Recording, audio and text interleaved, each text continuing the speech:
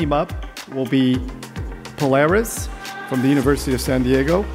Uh, please welcome Erica Cameron.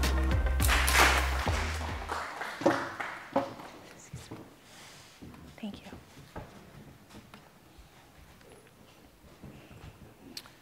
Approximately one third of Americans are living paycheck to paycheck. They're just one unexpected expense away from being homeless. The trauma of homelessness is a very complex issue that requires more than just a housing solution, but an innovative model that brings resources to those who are in need. That's what we think Polaris can do. Polaris is built with a team of researchers from the University of San Diego and community partners who specialize in homeless populations. We envision a community in which everyone can find and access resources to end the cycle of homelessness and is guided towards good health, wellness, and more importantly, hope. 13% of children in San Diego live with four or more adverse childhood experiences, one of those being homelessness.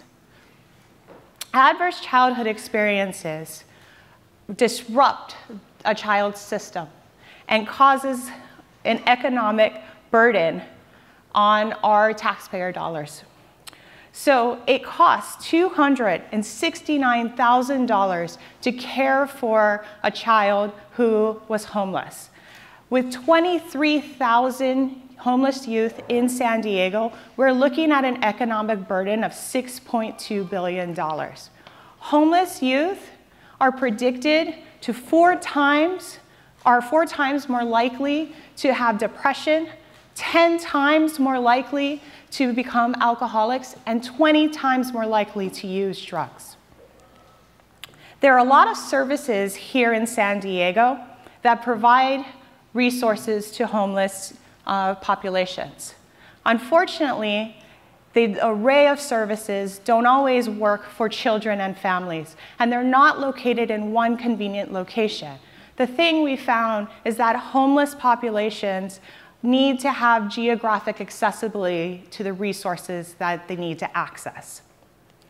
Polaris could be that resource we would like to bring five different types of services into one lo convenient location. It's an innovative model that brings, that disrupts the old system of care and brings services to those who are in greatest need.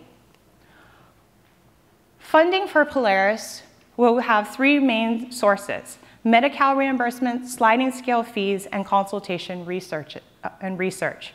In five years, we plan to break financially even, improve the lives of 2,000 people, and have a $537,000 healthcare system.